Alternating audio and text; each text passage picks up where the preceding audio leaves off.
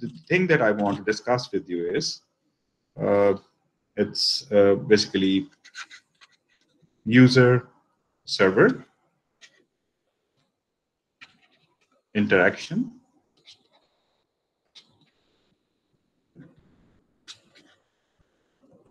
and I want to talk about cookies. Okay, so um,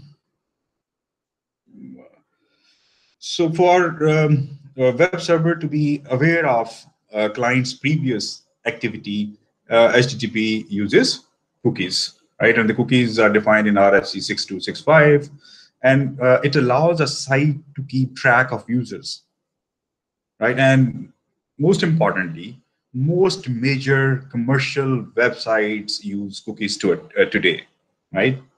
Why?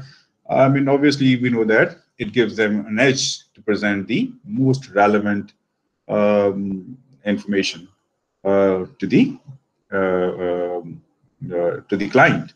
So, so the cookie technology has four components. Number one, uh, it has a cookie header line in the HTTP response message. It has a cookie header line in the HTTP uh, you know request message, and then it has a cookie file kept on the user's end system and managed by the user browser. And, uh, number four is uh, it has a backend database on the website. So it has four you know uh, important components. If I talk about a cookie technology, number one, it has uh, you know um, a cookie header line in HTTP. Um, response message, right? So we have uh, a cookie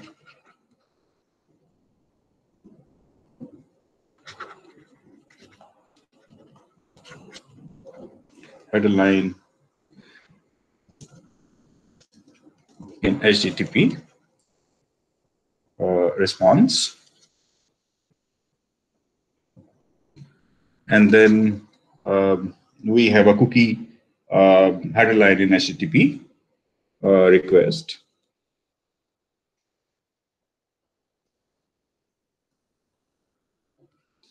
And number three, um, we have uh, we have a cookie uh, file that is kept um, on the user's end uh, uh, end system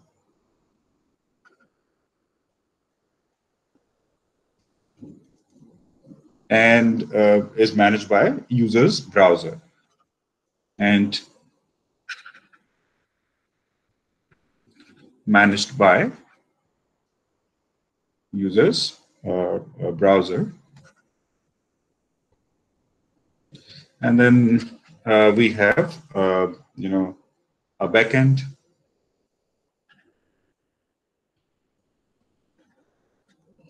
uh, backend database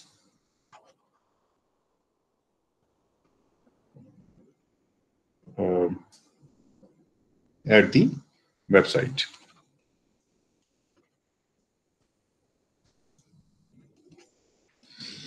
So let's see how it works, right? So we'll take an example, a scenario to, to see how uh, uh, cookies work, right? So let's assume that we have a host here uh, or a client machine. So here we have a client, and then we have a server here. And let's assume the server is, you know, Amazon. Okay. So here, uh, this is the timeline increasing downwards.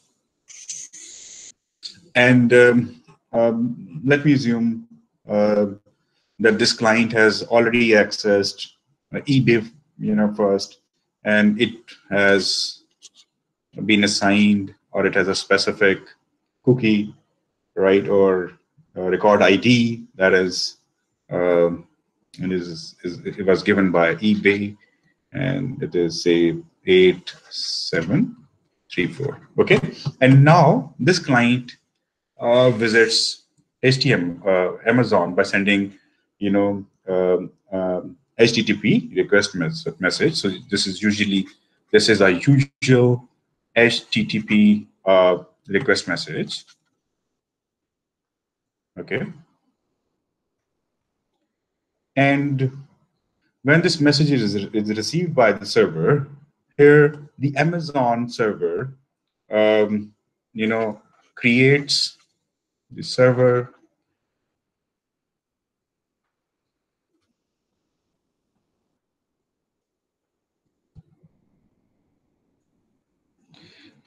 the server creates ID for the user. And let's see, the server assign ID 678 to this machine or uh, the user, right? For user, right? And uh, you know what? This is uh, this is also uh, maintained uh, in the uh, database okay and the uh, uh and uh, you know a simple uh, regular usual http response is generated by amazon. So this is http response message.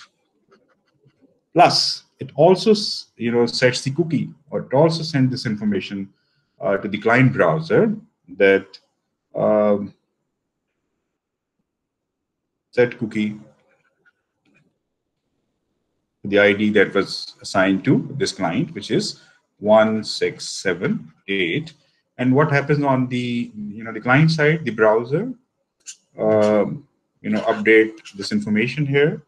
It knows that uh, uh, that Amazon has assigned it ID or cookie 1678, and it was already having a cookie or maintaining a cookie for eBay, which is eight uh, three, Okay. Now, um, it again, you know, uh, I, this this browser wants to, you know, browse uh, for something on the website. So it again sends what?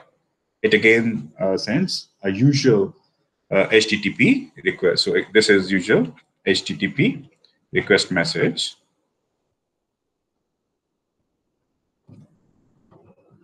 okay? But when this message is sent it also um, it also send cookie uh, uh, information or the the identity uh, the the identity that was assigned or the id that was assigned by the amazon and is maintained by the browser.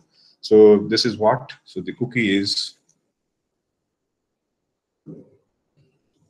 one six seven eight. Okay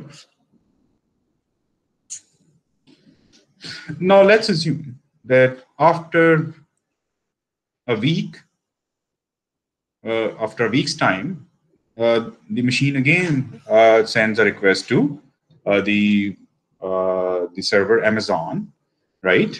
And again, uh, you know,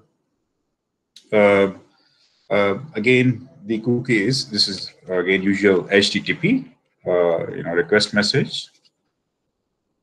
Okay, and uh, the cookie um,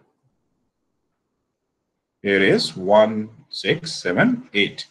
Now, when this request is received, right, or even when this request is received, the server performs, uh, you know, cookie specific action. So here, uh, the server will perform what? Cookie specific action, right? So it will use this cookie to access from the server that what specific websites were visited by the uh, by a specific client means what specific products were browsed so that uh, next time again when this request is generated after one week uh, again based on this uh, you know cookie uh, specific action you know, it sends this information to the, the you know, the database and gets the uh, information about the, uh, you know, the products that were visited or the products that the client were interested in, you know, and it generates a response, right? But now this response, yes, it is a, a you know usual, it is a usual HTTP, you know, uh, response. But now this response contains what? This response contains uh, information that is based on the uh, interest of uh, the user. Okay, I mean, um, you know, the cookies. Yes, the cookies have uh, you know revolutionized the internet shopping experience right because i will be getting information about my previous uh, uh, you know uh, accesses right or the previous uh, history of on a certain website right? But on the other hand um, the cookies are controversial. Why? Because they can also be considered as an invasion of privacy.